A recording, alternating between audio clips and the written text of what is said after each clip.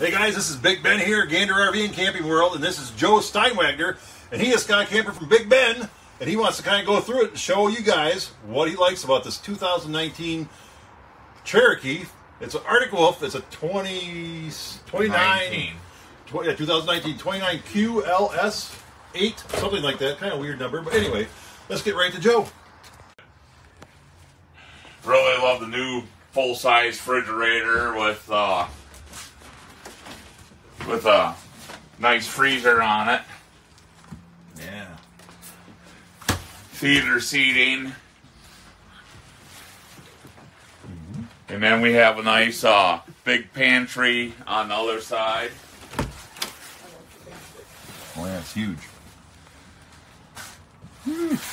And then my mom goes camping with me all the time. So this is kind of be like a mother-in-law suite for her. Goes up to a couch or a bed. Spot for a TV. Extra storage.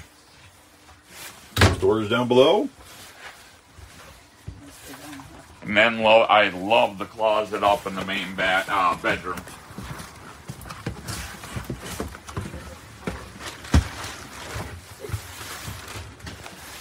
So you got the it's on the slide. You got extra spots there. You got how many drawers? Four drawers. Four drawers.